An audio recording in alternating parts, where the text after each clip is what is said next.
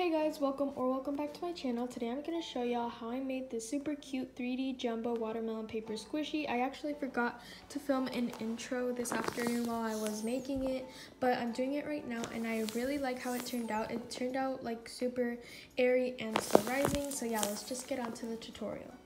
The materials for this paper squishy will be paper, a pencil, coloring supplies, clear tape, scissors, and lastly, you'll be needing your filling. I always use this stuffing I got from Walmart, but you can use like plastic bags or anything around your house. And a black pen for outlining. Okay guys, so I'm gonna start by taking this one sheet of paper and start sketching out a big round circle on the middle of my piece of paper like this and just make it as big as you want it because remember this squishy is gonna be jumbo size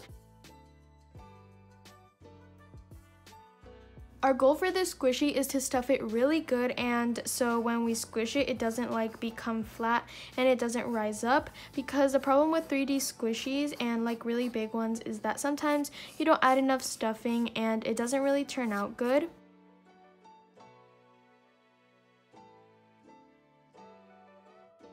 Okay, so now that we have our circle drawn out, we're gonna take a black pen and trace it.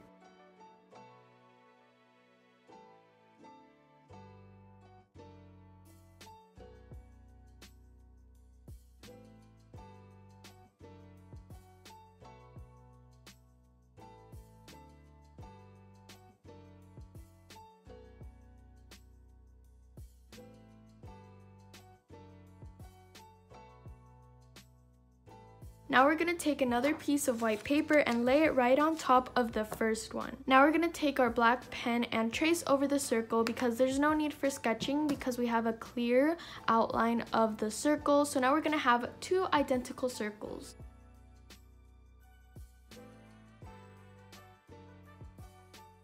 Now that we have our front and back of our watermelon, we're gonna set one circle aside and work on the first one. Okay guys, so now that we have our circle right here, we're gonna pick our colors to color our watermelon. So first I'm gonna get this red shade right here, and we're gonna need a black for the seeds.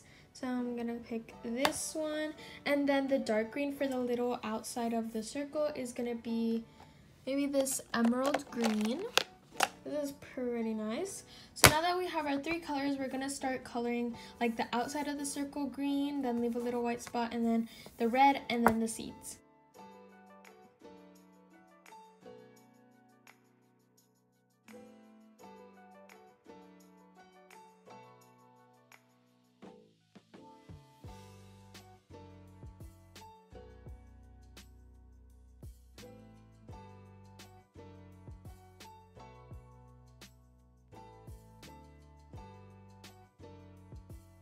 Okay, so this is how the first circle turned out. I like it. So now we're gonna take our other circle and do the exact same thing.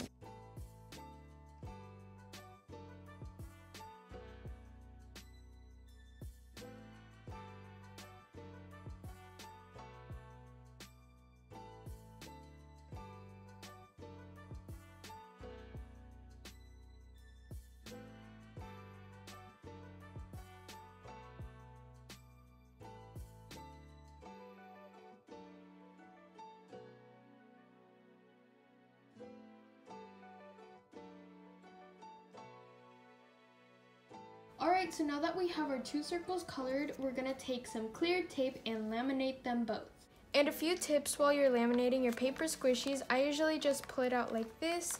Make sure it's not wrinkly as much as you can. It's probably gonna wrinkle a little bit, but try to just flatten it so it's as smooth as possible. And then just cut it out, or you can just take a piece of tape like this and I think about right there I cut it. And then I get the two ends like this. And I place it like that. And I think this one gets a little more wrinkly and this one's more straight. So try to just take a piece of tape cut it out first and then place it on top and smooth it out.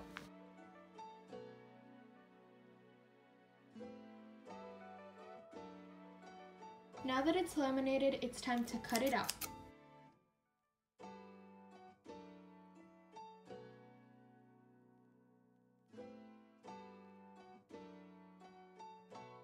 Okay, so now that we have our two circles laminated and cut out, we're gonna place them to the side because now we're gonna take a different piece of paper and make the sides for the watermelon. So it's gonna be like this, and you can make it as thick as you want or as not thick as you want. I'm gonna make it like medium size, like, like there. Not too thick, but not too skinny.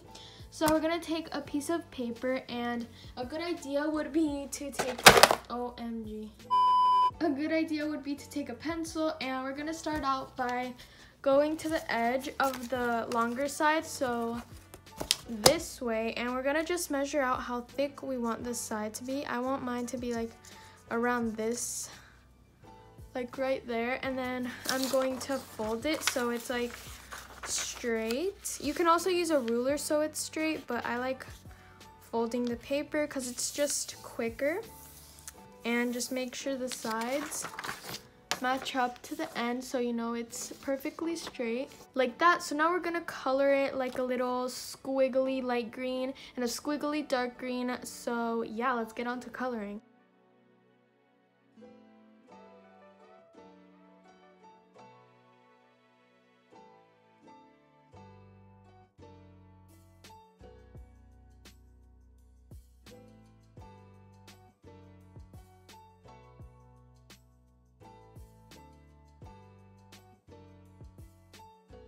Okay guys, so this is how the side looks. It turned out really ugly because I did these little lines and I thought it would look like more detailed, but I guess not, but it's fine I guess. So now the next step is to get your tape again and laminate it and just cut it out again.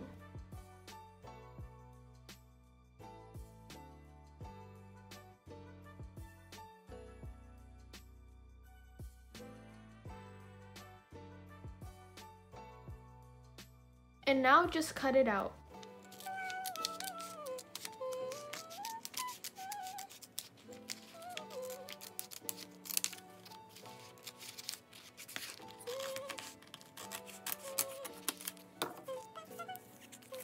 Okay guys, so once the side of the watermelon is cut out, we're going to basically place a little piece of tape at the end of the piece and we're just gonna tape it like this to the edge of the circle and just put little pieces of tape and tape it around. As you can see, it's way too short, so we're gonna make another piece like this and just tape it together. Okay guys, so this is how it's looking so far. I think it's gonna be super squishy and slow rising and as you can see the strip wasn't long enough so I made another one off camera and what we're basically gonna do is just keep taping around and leave a little spot to stuff it and I'm gonna tape this on camera because it's kind of boring when I record it so I'll tape this and then I'll go back on when I'm stuffing it. Okay guys, so we finally made it to the last step, which is stuffing our paper squishy. I left this little opening while I was taping it and I'm gonna stuff it with this and hopefully there's enough because we're gonna have to stuff this paper squishy a lot so it doesn't like stay flat when you squish it.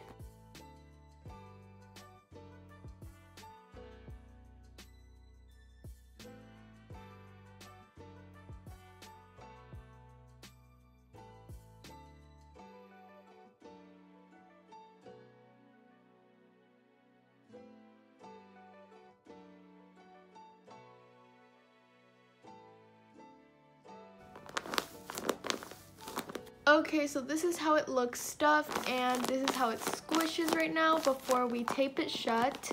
So now let's just tape it closed and have our finished paper squishy.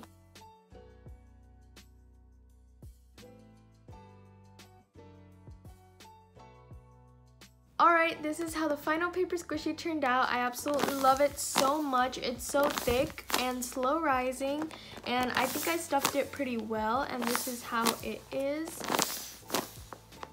I love the sides. It's like the perfect thickness and here's the front and back.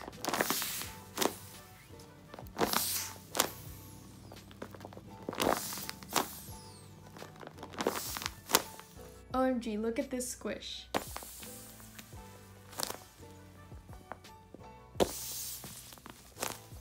It almost kind of looks like a cake for some reason.